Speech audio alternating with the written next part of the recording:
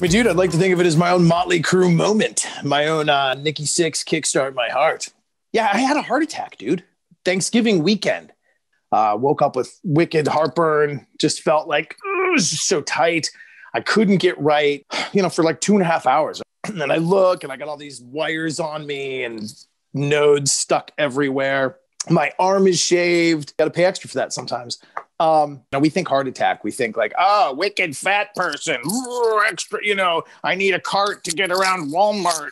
My doctor told me my cholesterol was fine and my blood pressure was fine. Didn't factor in my dad's family history. I should have either forced him to give me a stress test or pay for something out of pocket. Make your New Year's resolution to go out and get yourself checked and don't take no for an answer, man.